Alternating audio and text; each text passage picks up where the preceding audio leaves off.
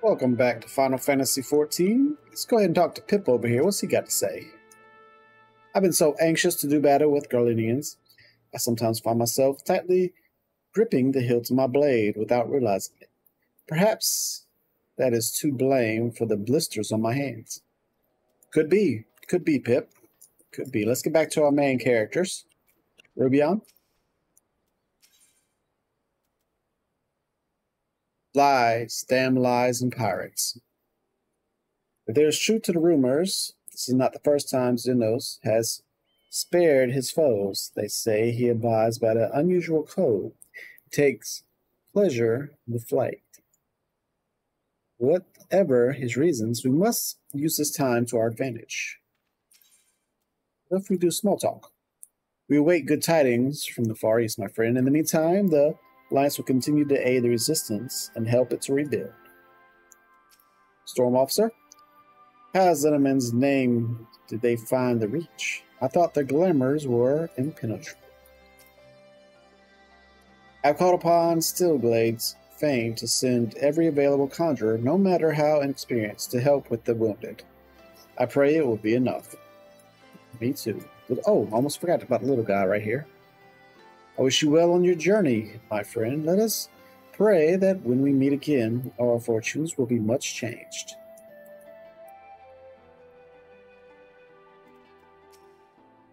Really? You said your piece, yes? Now, would you please return to bed? You never recover if you carry on like this.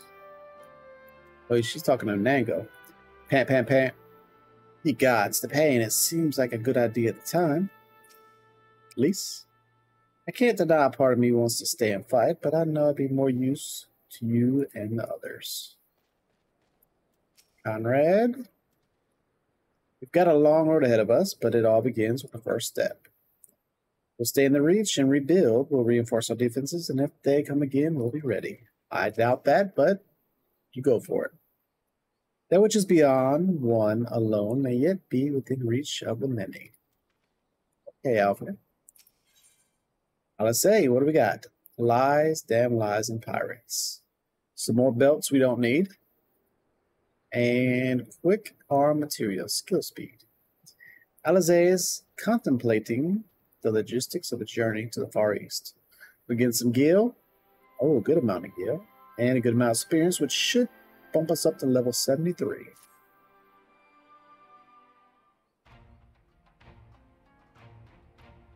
Where men go as one, there is life.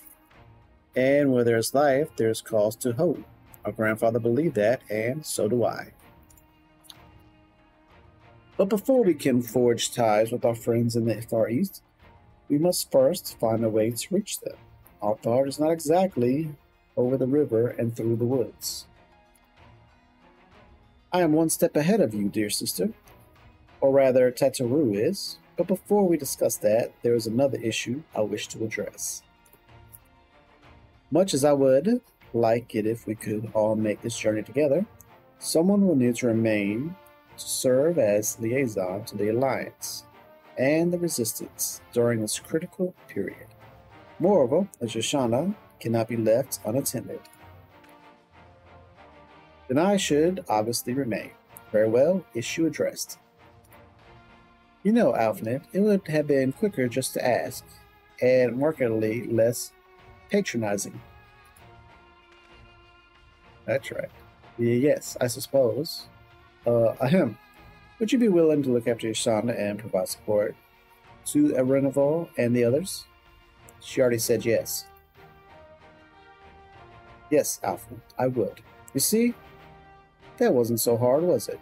Enjoy your trip, and don't you dare return with a gift. Oh, I would, but not dream of it. Right then, sister, Dickman, please gather your things. We are for Limsa Lominsa.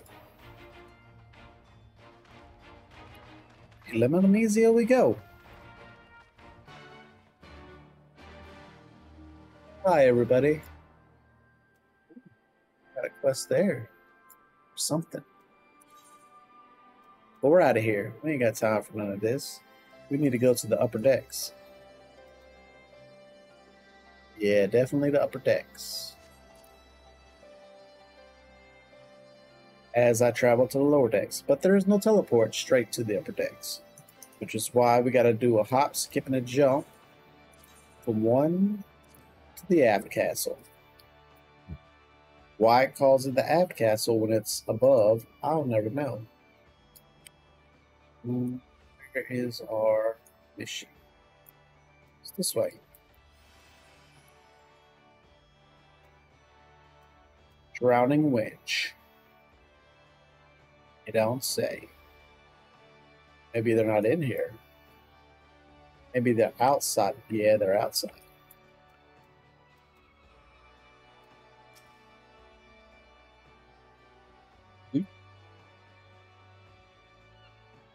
Purebred was always your sharpest May. I haven't spent much time here, to be honest. I spoke with Urianger and Thancred along the way. To say they were surprised by our stratagem would be something of an understatement, but they did not dispute its logic.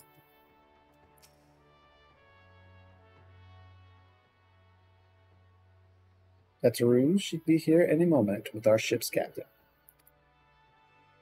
So if we're going by sea after all, is Merlwyb lending us our pick of the Crimson Fleet? Not exactly.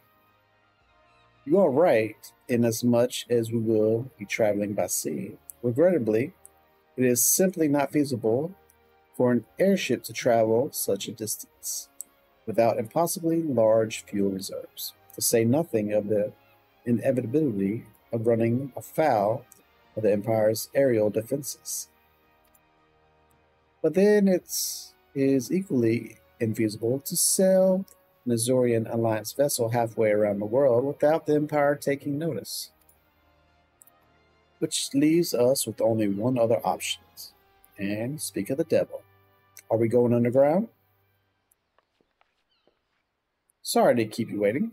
May I present to you Captain Carvallain of the Kraken Arms. Not sure if I like him.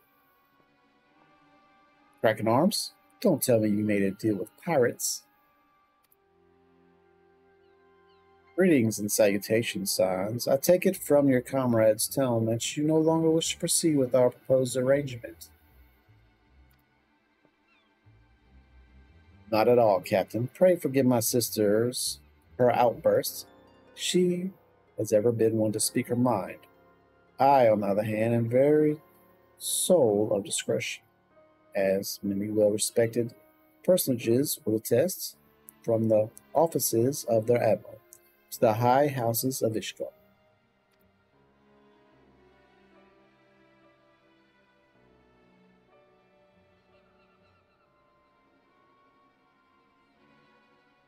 Ah, but where was I? Oh, yes, the Scions of the seventh dawn do indeed still wish to employ your services. However, it is important that you are aware of certain extenuating circumstances. Okay, jabba jabba jabba, tell the stories. What will you decide, Mr. Captain? An intent on securing passage to the Far East. You come to us, knowing us to be the proud purveyors of said region's finest spices, which you steal from God's fearing merchants out on the high seas. Alisaie, stop it. Whatever privateering the Kraken's arms may or may not engage in strictly within the limits of the law, as set forth by our in indefatigable keeper of the peace. More to the point, we are pragmatists. I see considerable risk in aiding your cause and negligible profit.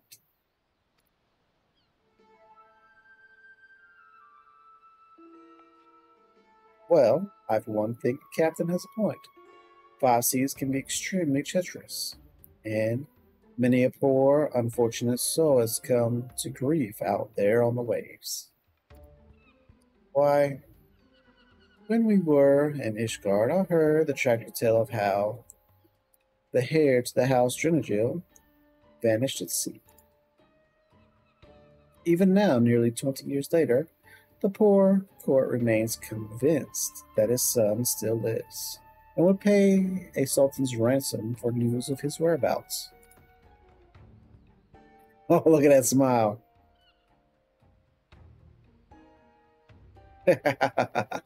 ah.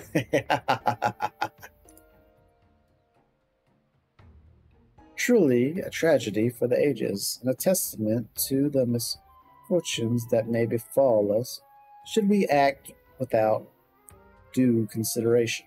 But so long as you are prepared to abide by the capricious whims of fate, I'm willing to oblige you this once. That said, in light of the recent rebellion, I trust you understand that I cannot deliver you to Doma itself. I can take you only as far as Kugane in Hingashi. We will require time to produce significant provisions and make ready for departure. I humbly suggest you do the same.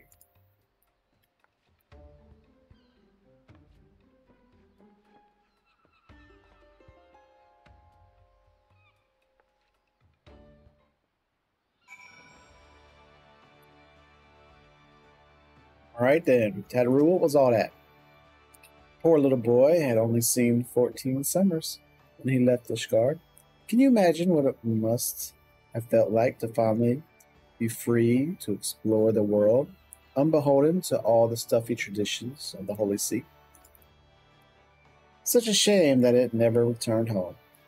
Without him, the court de Jernadai must look elsewhere for a successor and the good Lord Jenicornard is one step closer to being the next in line. Not sure what just happened. I could have sworn he was about to turn us away, but then he changed his mind. Blackmail, is it? This is a dangerous game the two of them are playing. What guarantee do we have the caravan won't just throw us overboard? It's a good question.